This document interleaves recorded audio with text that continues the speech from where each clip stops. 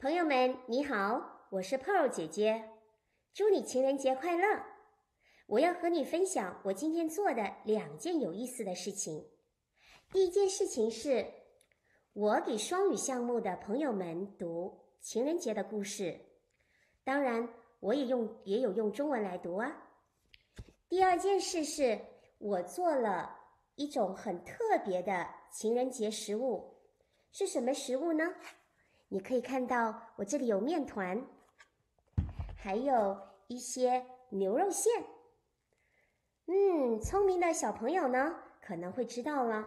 我要准备包饺子，我要告诉你哦，我这个饺子叫做情人节饺子哦。那好，你等下来看看到底我的情人节饺子是什么样子的。这是我做的小面团。那我准备用擀面杖来擀饺子皮。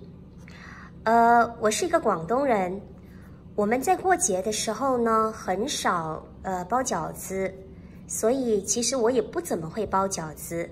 包饺子这这件事情也是刚刚学的。现在我们的饺子皮准备好了，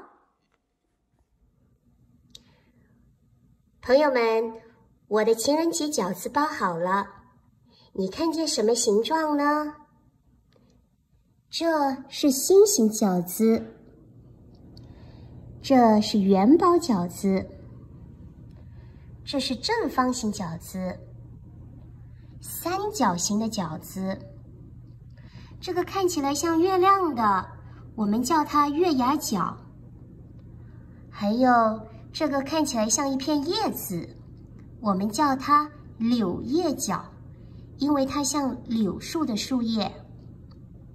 好啦，我希望你喜欢我这些有着各种各样形状的饺子。我的情人节饺子做好了，那现在呢，我要去煮我的饺子了。下次再见，情人节快乐！